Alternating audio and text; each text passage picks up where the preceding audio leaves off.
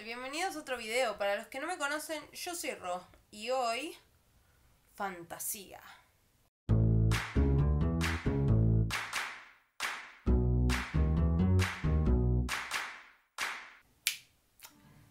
Fantasía. Me parece una obra de arte esta película. Cuando era chica me deslumbraba viéndola, pero Fantasía 2000 miraba. No sabía que había otra versión, pero en realidad esta es la versión original. Me encanta. Cuando la volví a ver para hacer este video, dije, wow. Así que con esto estaba Disney. Después de Pinocho vino esto y fue excelente, excelente. Pero bueno, sin dar más vueltas, vamos a hacer la review y acordémonos de que esta película empieza con el cartel.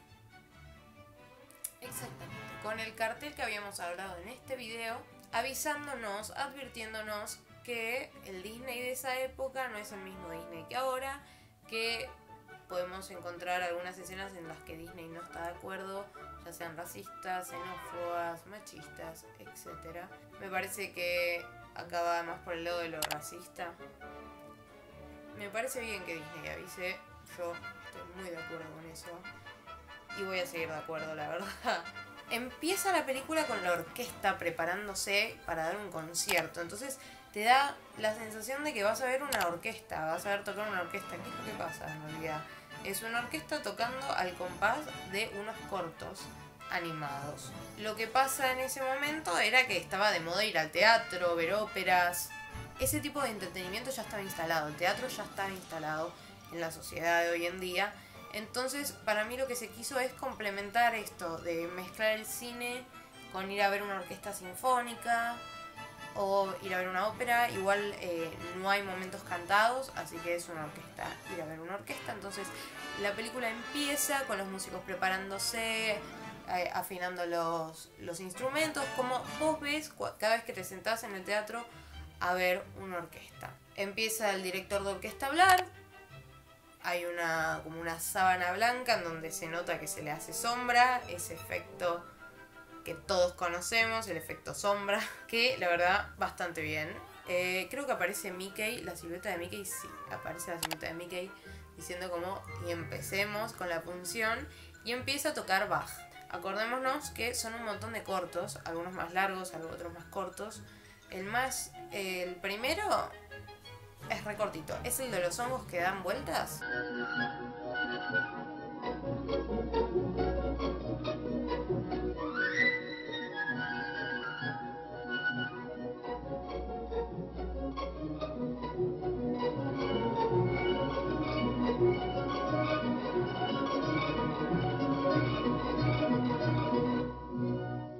Que yo creo, como en muchos cortos de estos, que gracias a este corto salió el universo o la estética de Alicia en el País de las Maravillas, o sea, del País de las Maravillas de Alicia. La verdad que siento que, salió de eso, como vamos a ver que todo sale de estos cortos. Hay muchos personajes que no quiero spoilear, pero yo digo, tiene la misma cara que tal personaje de Disney. Este es muy simple, no es mi preferido, la verdad. Cuando Luego de que termina este corto, el director de orquesta vuelve a hablar, introduciéndonos a lo que vamos a ver. Esto pasa en cada corto. Cada vez que termina un corto, empieza el director de orquesta a hablar para ir a otro. Ya se torna un poco pesadito. Pero lo que yo siento es que esta película es de 1940. No, creo.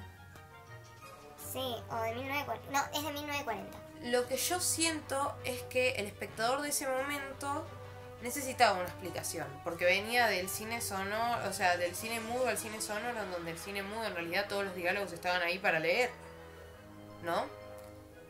Y a esto me deriva hablar del Nickelodeon. El Nickelodeon es algo que yo aprendí en la facultad el año pasado, así que no hace falta que ustedes lo sepan qué es. En el cine, en los principios del cine, entre una película y otra o entre un corto y otro, mientras cambiaban la cinta, había un músico tocando al compás de unas em, diapositivas, como si pasara un PowerPoint ahora. eh, de unas diapositivas bastante psicodélicas que no decían nada, que no tenían trama. No sé si ustedes se acuerdan cuando existía el reproductor de Windows Media de música en realidad, cuando reproducían una canción hace muchos años, como estoy hablando hace como 10, 15 años, que como que les bailaba la música. Como que había como unas lucecitas que bailaban. Si se acuerdan de eso, por favor, digan en los comentarios. Soy de los 90, como yo. Bueno, eso hacían los Nickelodeons. Era un intervalo entre película y película donde el público o se iba acomodando o quedaba esperándose para la otra película, etc. Antes en el cine la música también iba en vivo. Era un acompañamiento, era un músico o varios que acompañaban el cine mudo. Siento que quisieron darle homenaje al cine mudo y a la vez a la orquesta o a la sensación de sentarte en un teatro a ver una orquesta, una ópera, ya hablamos de esto, pero en la comodidad de tu casa. Bueno, señor Disney. No, en la comodidad de tu casa no, porque en 1940 no estaba en la tele. Qué boba yo. En la acción de ir al cine. Bueno, querido Walt Disney, usted descanse en paz, no sé si está congelado o no, si no, le aviso, señor Disney, que ahora vemos estas películas desde la comodidad de nuestras casas o desde nuestros celulares o de nuestras computadoras, de nuestras tablets, de las televisiones. Podemos reproducir sus películas en cualquier lugar. Entonces esta sensación no te la da un aparatito así de chiquito o la, o la tele. Pero entiendo a lo que quiso ir. Aunque se torne un poco denso el hecho de que el director tenga que explicar cada corto. A todo esto hay un intervalo en el medio. Son como cinco minutos en donde los músicos van, descansan, no sé por cuánto, seguro en las filmaciones será por bastante tiempo, y vuelven. Literal, era como ir al teatro. Bueno, el segundo corto es el de Mickey. Sí, el famoso corto de Mickey con el sombrero azul, con las estrellas y la capa roja. Sí, lo conocen. Con los baldes y las escobas. Bueno, ese es mi preferido, claramente, porque está Mickey. Pero sí, no tiene un conflicto en sí, no. Ninguno tiene como un desarrollo muy estrambótico, como para no entenderlo. Como para necesitar una explicación del director de orquesta. Después hay un corto de unos dinosaurios, que hay bastantes fotogramas parecidos a los de otras películas. Por ejemplo, hay un atardecer, que es muy parecido al amanecer del Rey León o sea, el primer fotograma que vemos en la película El Rey León, todo el mundo ya lo conoce, el fotograma ese. La verdad que siento que todas las películas están inspiradas en fantasía, algo de sus películas. La de los dinosaurios, o sea, en el corto de los dinosaurios también vemos los dinosaurios como en Dinosaurio, la película de Disney. No están animados de la misma manera, pero yo no vi la película, pero calculo que debe ser similar o se debió haber inspirado en eso. Igual es muy parecido a la tierra, la selva del Rey León en realidad. Después hay otro que hay un ballet en donde hay uno, hay un animal que es igual a Daisy, igual a Daisy. Después hay un corto de como centauros, criaturas mitológicas, unicornios. El protagonista es igual a Hércules, la cara es igual a Hércules.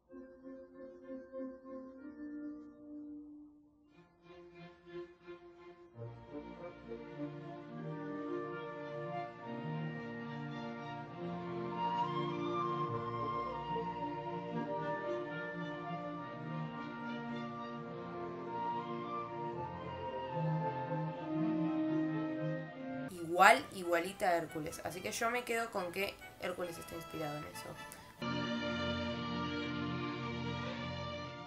Como igual Ariel, ¿eh? Ariel de la Sirenita está inspirada en uno de los centauros.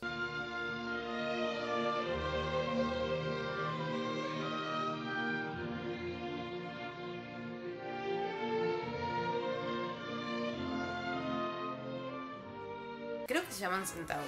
Si no, estoy diciendo centauro 25.000 veces y, tiene otro nombre y voy a tener que corregir siempre que haya dicho centauro. La verdad que ese también es uno de mis preferidos porque los, colores, la animación está como más o menos en una estética fluo y me gusta muchísimo, muchísimo.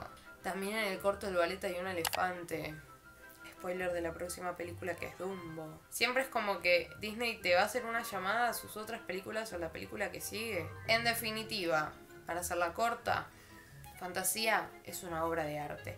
No hay...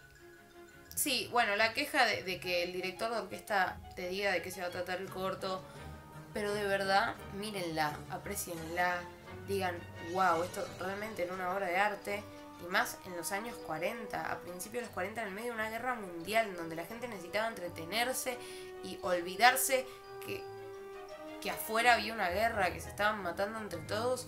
Y este cine no era un cine de propaganda, como otro cine y como Disney también ha participado de la guerra, lamentablemente. Y disfrútenla por eso, porque era una especie de escape de la sociedad a lo, la realidad que se estaba viviendo hoy en día que estamos en el medio de una pandemia, que no es una guerra, pero estamos todos encerrados, no estamos todos encerrados ahora, pero estamos todos preocupados y viviendo en una incertidumbre de qué va a seguir pasando. Y estamos más o menos en una misma situación, sin estar en guerra, claramente, obvio, es, eh, no se compara. El darnos cuenta de que el cine sí es un escape, ver películas sí es un escape de la realidad que estamos viviendo, es lo que venimos haciendo hace un año. Por eso Netflix no para de sacar películas y, se crearon todas estas nuevas plataformas, por lo menos en Latinoamérica, se hicieron, bueno, Disney Plus también se creó, se creó, salió, aunque ya iba a salir en el medio de la pandemia. Vamos a ver si Disney no sabía que iba a haber una pandemia. Sabemos que el cine viene de estas raíces.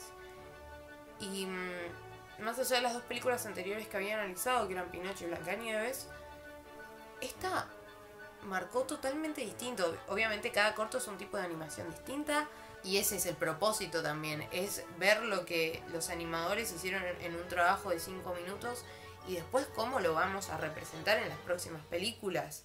También ese trabajo, más la elección de la música clásica que, que viene súper bien para disfrutar de las animaciones. Así que bueno, llegamos al final del video. Si les gustó, por favor, comenten, compartan, suscríbanse, suscríbanse, por favor, suscríbanse. Y como dicen todos los youtubers, like, comment, share, subscribe. Y nosotros nos vemos en un próximo video. Chao.